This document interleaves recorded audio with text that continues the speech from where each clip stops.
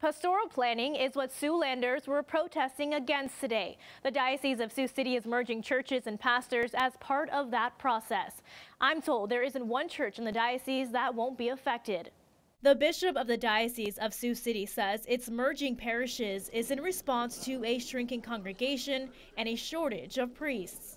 The reality is, in the next 10 years, that 50% of our priests uh, that are currently in active ministry are, are, eligible for retirement. Deacon Mark Prosser says a drastic reduction in the number of practicing Catholics with less baptisms and marriages also forced the diocese to make a change. But some Siouxlanders say they feel abandoned. We are rural communities and we have a bishop that doesn't understand rural agricultural communities. If you cut off the roots, the rest of the plant will not flourish. We feel that the closing of churches should be the last resort.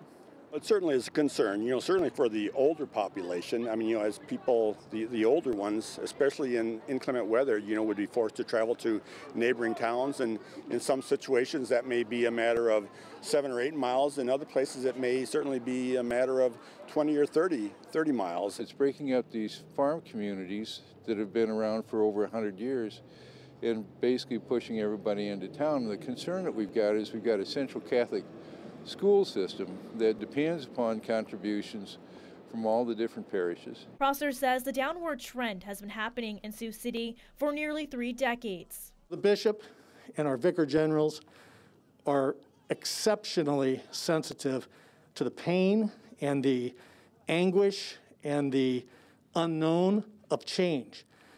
But the diocese and the church as a whole has to change. Deacon Prosser says no churches will technically close, but their status and how they're used may be modified. Lydia Vasquez, KCAU 9 News.